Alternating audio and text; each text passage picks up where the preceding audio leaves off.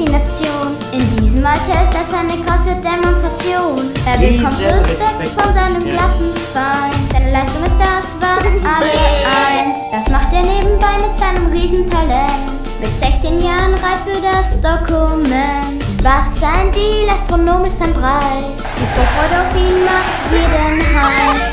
Ausnahmezustand. Also, Stand back and stand by. Ein Rohdiamant. Schaut auf den Tweet. Ist es wahr? Ist es wahr? Ist das wirklich sein Sound? Es ist klar, es ist klar, dass jeder hier staunt. Scheiß drauf, passt drauf. Sein Name wird nun posaunt. Er heißt Mu.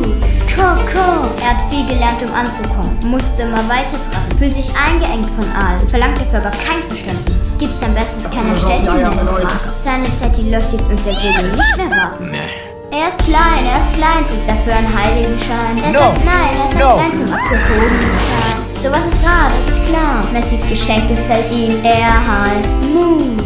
Coco. Wie gefällt dir der Song von den Superheroes? Ist klar der erste Song bei YouTube überhaupt. Wie gefällt er dir?